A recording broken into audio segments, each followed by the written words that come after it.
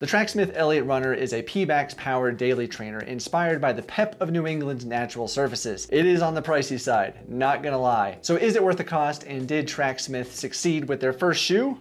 Well, let's find out. Well, hey, what's up everybody? Welcome back to the channel. My name is Steven. First, I want to let you know that Tracksmith did send the Eliot Runner to me to review. They're not to see this footage ahead of time. They're not to proof it. I'm to say my complete honest thoughts just like always always. Well, first let's go over the stats of the Tracksmith Eliot Runner. First, like I said, it is a neutral daily training shoe, and there is a fair amount of flex and twist to the shoe as you can see there. As for the stack height, the rear comes in at 33.5 millimeters and the front at 24.5 millimeters for a 9 millimeter drop. And my men's size 11 weighed in at 10.1 ounces or 287 grams. Really not a bad weight for a daily trainer, especially when you think about how much stack height this shoe has at almost 34 millimeters in the rear. The Eliot Runner does fit true to size and Tracksmith advertises it as a medium width. We'll get more into that under the upper category a little bit. And it is also offered in four very Tracksmith uh, specific style colorways. Real quick before we get to the rest of the video, scroll down, click that thumbs up button, give the video a like. Super easy to do and it does help out my channel a ton and the video and I would really appreciate it. So the upper of the Tracksmith Eliot Runner is an engineered mesh upper and features a woven sash here on the lateral and medial side to help secure that midfoot lockdown just a little bit. The upper collar of the shoe and the eye stays here is a suede material and it is a very premium feel to it. So right from the get-go and straight out of the box, which I gotta say, this is the thickest cardboard box I have ever,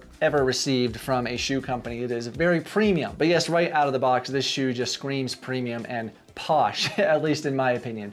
It is a very quality shoe. Looking at the stitching detail on these eye stays here, the upper collar, the suede, everything about it is just top-notch quality and really well done. As for the breathability of the engineered mesh upper, let's take a look at the tissue test. When I switch the hair dryer on low, you can see the tissue goes up fairly quickly for being on low. It's really not, not bad at all. Switching it to high, it goes up even quicker, showing that this premium plush uh, upper is actually fairly breathable. When running, I can actually feel a little bit of airflow through the upper, while it is certainly not the most breathable shoe I've tested. As for the toe box of the Eliot Runner, it's really, again, just about average in width. It provided plenty of space for my average size foot, the midfoot as well, really average uh, for my average size foot. It really was not a problem, no discomfort. If you have a little bit wider foot, it's probably gonna be a little snug, so that may be an issue for your foot. Even the laces on the Eliot Runner feel premium. They really do, just to the touch. They feel like a really high quality lace. They are flat, they lay flat well, they tie really well and don't come undone.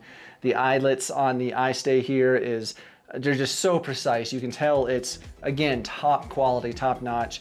When you cinch these laces down over your foot, it really does provide a nice and secure lockdown. And that tongue underneath of those laces is really nicely padded. It's not crazy plush, but it's not at any way thin. It's, it's pretty padded and it is very comfortable. It's also fully gusseted on both sides and really protects your foot, the top of your foot very well from those laces. I have had Zero issues with discomfort with the lacing, any of it at all. It's been great. The heel collar of the Eliot Runner is also very padded and incredibly comfortable. And it's also the perfect depth, I must add, on the side. It's not too high. It doesn't rub the lateral malleolus at all.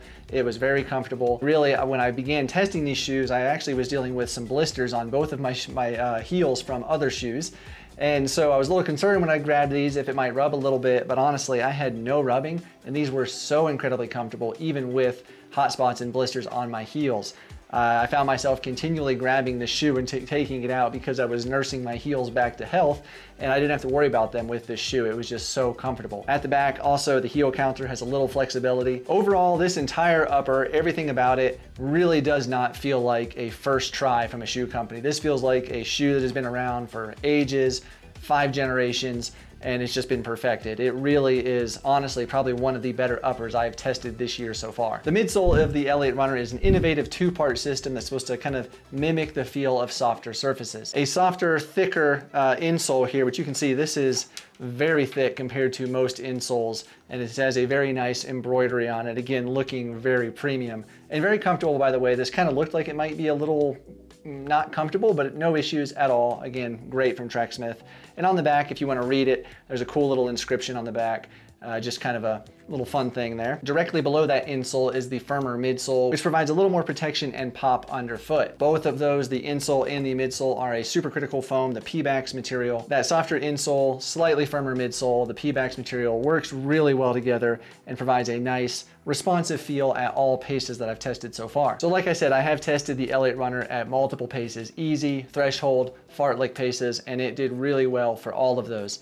On those easy kind of recovery days, that Pebax material feels really good underfoot. It is soft, but yet firm. It's not a Hoka cushion from like say a Clifton 9, but it's definitely not firm either. It's kind of in between and feels really good for those long, slow days. However, if you do want to do some pickups and run some faster miles, maybe some fartleks or even some threshold intervals like I did, that supercritical foam, that Pebax material in there provides a lot of response and feedback underfoot and feels really good. Even when pushing the pace, for me at threshold pace, felt really responsive and good.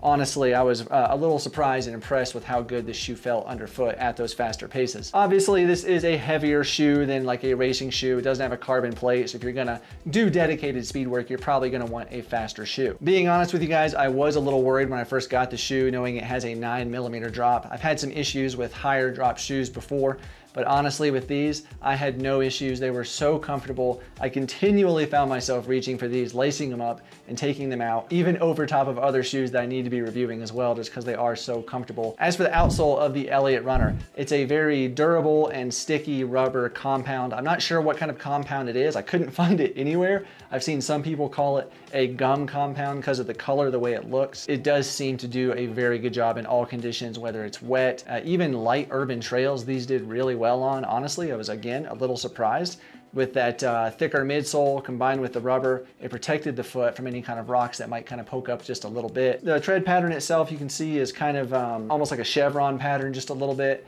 and provides plenty of grip both forward and laterally. I had no issues whatsoever with grip at all. It was really it was perfect. It was, it was great. Really, But for a road shoe, couldn't ask for anything better. So as for the price of the Eliot Runner, like I mentioned in the intro, it is a pricey shoe. It retails for 198 US dollars. That's a lot of money, not gonna lie. That's right in line with shoes that have a carbon fiber plate, weigh several ounces lighter as well. So for a daily trainer, that is, uh, yes, that is a hefty price. Well, the bottom line of the Tracksmith Eliot Runner is yes, Tracksmith nailed it for their first shoe. I think they succeeded well beyond a lot of people's expectations, including my own. I have, like I mentioned, picked the shoe up many times to go running in it. I love it. I will continue to wear this shoe a lot and probably wear it out because I do enjoy it that much. This is a shoe you could easily go do an hour run in and then go and uh, have dinner out on the town and it's stylish. It's gonna fit in just fine. Or you could even take it to go play squash or racquetball. I don't know. It looks like it belongs in a country club. So maybe you're gonna be going on a trip and you can only take one pair of shoes to run in and also walk around town, I think this is a great option. It's not gonna stand out like a bold and bright running shoe. This will kind of blend in just fine. So if that's you and you need a shoe like that, then this might be a great choice. Well, now I wanna know your thoughts. Have you tried the Tracksmith Eliot Runner? Did you like the midsole, the feel, the upper, everything just as much as I did? Did you have anything you didn't like? Let us know below. I'm sure everyone would really appreciate those comments as well. And while you're down there, if you wouldn't mind, go ahead and give the video a thumbs up. That does help out a lot, and I would really appreciate that. That'd be really cool. Well, thank you all so much for watching. I do appreciate you all so much. And if you haven't already, why don't you take a look at the Saucony Endorphin Speed 3 video. I think that shoe is somewhat similar to this. It's kind of a combination of the Clifton 9 and the Saucony Endorphin Speed 3. If there was, if those two shoes had a baby, this might be it. Anyway, take a look at it. Hope you enjoy it. Thank you all so much. I'll see you in the next one.